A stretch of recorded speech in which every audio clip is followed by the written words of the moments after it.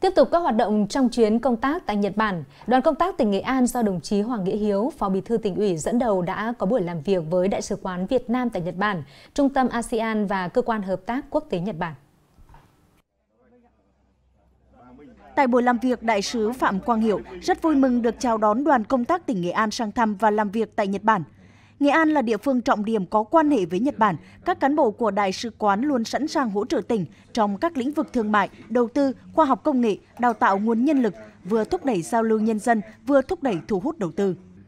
Phát biểu tại buổi làm việc, đồng chí Hoàng Nghĩa Hiếu rất cảm ơn Đại sứ quán đã hỗ trợ tỉnh Nghệ An trong khâu nối và gắn kết để tổ chức chuyến công tác tại Nhật Bản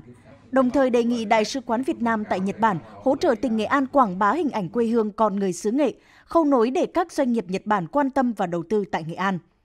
Vào sáng nay, đoàn công tác tỉnh Nghệ An làm việc với Trung tâm ASEAN Nhật Bản AGC.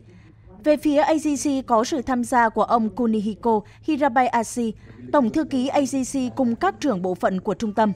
Trung tâm AGC là một tổ chức liên chính phủ được thành lập bởi các quốc gia thành viên ASEAN và Nhật Bản vào năm 1981. Vâng. Ông Kunihiko rất vui mừng được đón tiếp đoàn công tác và chia sẻ hiện nay Việt Nam là quốc gia có các hoạt động chung với trung tâm AGC nhiều nhất trong các quốc gia Đông Nam Á.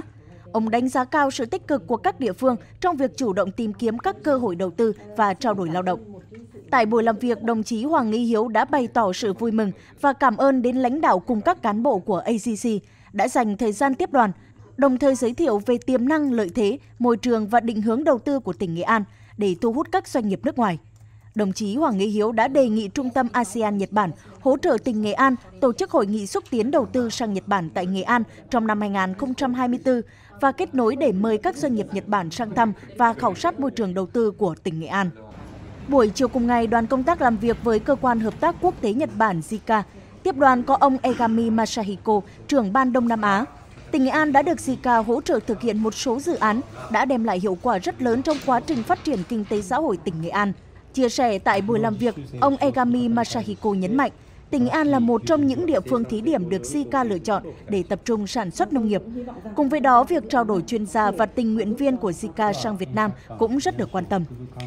Đồng chí Hoàng Nghĩ Hiếu đã thông tin tới các đại diện của Zika về tình hình phát triển của tỉnh Nghệ An, đặc biệt là ngành nông nghiệp, đồng thời đề nghị Zika chấp thuận nghiên cứu đầu tư dự án khôi phục nâng cấp hệ thống thủy lợi Nam Nghệ An vào giai đoạn năm 2022-2026 tiếp tục hỗ trợ giới thiệu các doanh nghiệp Nhật Bản đến tìm hiểu, hợp tác đầu tư tại Nghệ An trên tất cả các lĩnh vực chế biến nông sản, chế biến gỗ, hỗ trợ doanh nghiệp thực hiện các dự án chuyển giao các loại công nghệ, sản phẩm mới, tiên tiến trong nông nghiệp, tương tự như dự án tỏi Kỳ Sơn. Quan tâm hỗ trợ công tác chuyển đổi số, số hóa ngành nông nghiệp, ứng phó với biến đổi khí hậu để giúp Nghệ An từng bước hiện đại hóa ngành nông nghiệp và phát triển nông thôn.